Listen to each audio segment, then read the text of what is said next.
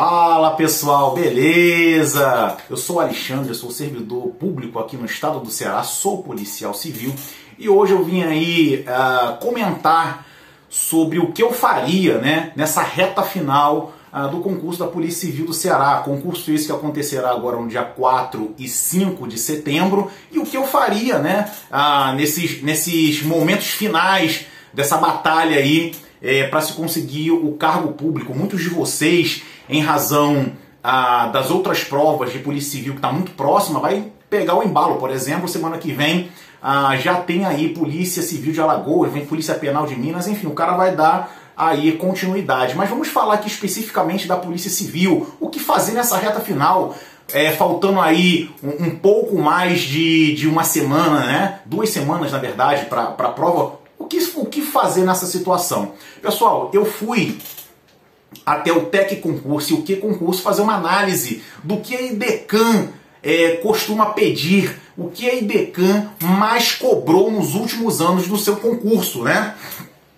Então eu peguei duas matérias que vão ser primordiais para aprovação do aluno. E por quê? Devido ao peso que ela tem é, diferenciado ah, na prova, somado ao fato de ser a matérias que normalmente o candidato não gosta de estudar, especificamente uma, que é o português. Pessoal, cheguei à seguinte conclusão lá na análise de, da estatística, né? Ah, das matérias mais cobradas, dos assuntos mais cobrados.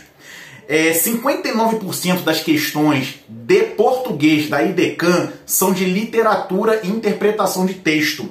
13% classe de palavras, 8% concordância verbal e nominal, 7% pontuação, 5% crase, 4% regência verbal e nominal e 4% sinônimos e antônimos. Ou seja, numa reta final dessa, você vai ter que fazer o quê? Obviamente é focar aqui em interpretação de texto, porque 59%, vamos arredondar aqui para 60%, é de interpretação de texto. Ou seja, onde é que você vai ter que focar? Evidentemente que é interpretação. E onde você tem que mais deixar de lado? Sinônimos, antônimos, regência verbal e nominal, né? já que nós estamos numa reta final. E o penal, né, que são 20 questões de penal. Você não pode perder penal de jeito nenhum, até porque é uma matéria muito gostosa. A maioria dos, dos, dos concurseiros, eles vão acertar as questões de penais, de penal.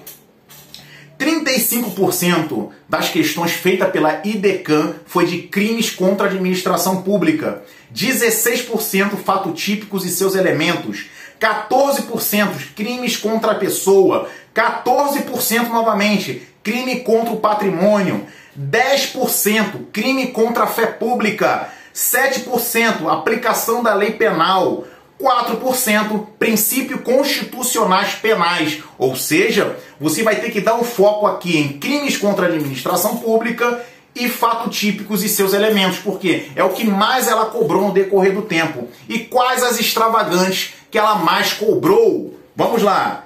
Primeiro lugar, ECA. Segundo lugar, Lei de Execução Penal. Terceiro lugar, Lei Maria da Penha. Quarto lugar, lei de tortura. Quinto lugar, lei de drogas. E sexto lugar, lei dos crimes ambientais. Ou seja, dentro de uma ordem ali de, é, é, de importância para você dar um, um, um, up é, melhor né, na, naquela reta final, foque nessas seis leis que eu acabei de falar. Pessoal, como todo mundo sabe, são 400 vagas para inspetores, 100 vagas para EPC e você vai ter que fazer 60% global e 20% de cada matéria. Só um detalhe: a prova da perícia forense, que é a Polícia Científica do Ceará, com 60%, ou seja, a nota mínima, o cara conseguiu ir para a correção das suas questões abertas.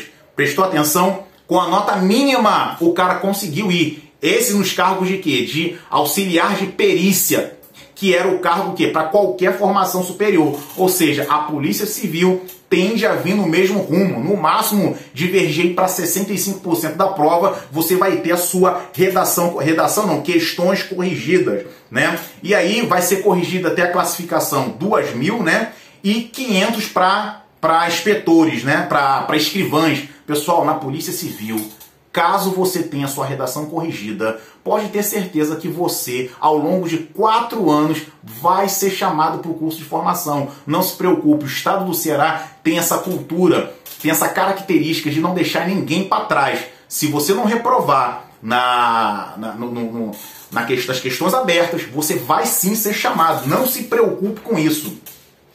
E com relação às questões abertas, aí é que é o pulo do gato. Cara, é a mesma quantidade de pontos das questões ah, é, objetivas. Quer dizer, as questões abertas, elas, elas valem 100 pontos, assim como as questões objetivas. Cara, é crucial, você não pode de maneira nenhuma, de maneira nenhuma perder ponto aí. E aí o que eu observei dentro da banca, tá?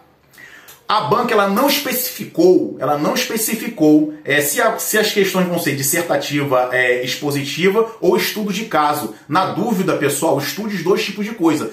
Tanto o estudo de caso como as questões dissertativa expositiva. Não vai dar esse mole, tá? Estuda as duas situações.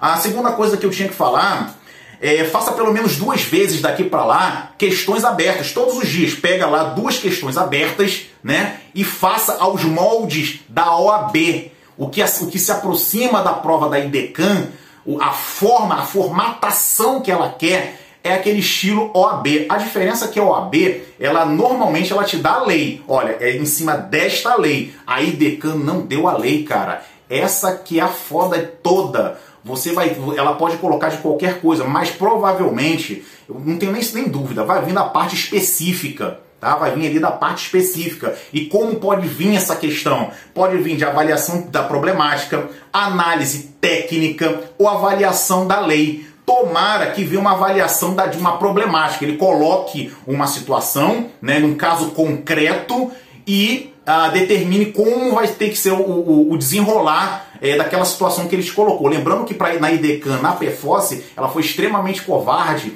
que ela pediu o artigo da lei de improbidade. Cara, você tinha que saber o artigo. Imaginou o nível de concentração, de, de entendimento da lei que o cara tinha que ter, lembrar de um artigo da lei. Ali foi uma sacanagem muito grande que a banca fez, mas fez e você vai ter que estar preparado para isso. Tenta memorizar daqui para lá os principais artigos das leis, porque provavelmente ela vai fazer a mesma coisa na Polícia Civil. Então, pessoal, dica que eu dou é essa. É, analisem as questões dissertativa expositiva, os estudos de caso, vejam como que se faz a prova da OAB, a peça da OAB, que ela quer naquela formatação, tá? Ela quer naquela formatação. O problema é que é muito curto, né? De 10 a 15 linhas, para você colocar todas as ideias ali que ela quer, é muito complicado. E eu, eu aconselho vocês, pode fazer até quatro parágrafos, mas faça três, cara. Eu, pelo menos, nessa situação, se eu fosse vocês, como são 15 linhas, eu utilizaria um parágrafo para cada cinco linhas. Então, pessoal, é isso aí que eu tinha que passar. Ah, eu acho que quem tiver a redação corrigida, as questões abertas corrigidas, vai entrar. Eu chuto, eu chuto que com 65% da prova, tá, objetiva, você vai ter a sua questão aberta corrigida, vou chamar de questão aberta, tá? E se você ficar aí globalmente, tá? Globalmente, com aproximadamente aí 70% da prova, 75% da prova, você vai estar dentro da Polícia Civil do Estado do Ceará. Beleza, pessoal? Um forte abraço. Se você gostou, é, se inscreve aí no, no, nosso canal, dá, dá um joinha, que é sempre importante pra gente. Comente aí se você tem outras dicas para outros candidatos, tá? Também é bem interessante isso. E boa sorte para todos. Dia 4, dia 5 vai ser o sucesso de todos vocês que estão me vendo agora. Beleza, pessoal? Um forte abraço, fique com Deus e até a próxima.